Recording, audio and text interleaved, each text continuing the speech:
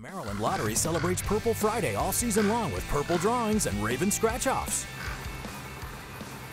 Good Friday afternoon, Maryland. Ryan Blumber from 98 Rock on this Purple Friday. And your pick three numbers are six ads printed on the ball. We have a two and a one, making your pick three game six, two, one. In a moment, the pick four game, but first, heed the call with the Raven scratch offs from the Maryland Lottery. You could win up to $100,000 instantly or great second chance prize like Raven season tickets for 20 years.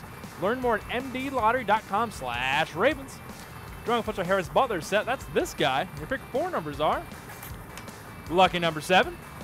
We have a two.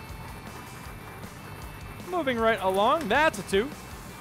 And your final number seven, making your pick four game seven two two seven. The Maryland Lottery. Let yourself play and go Ravens.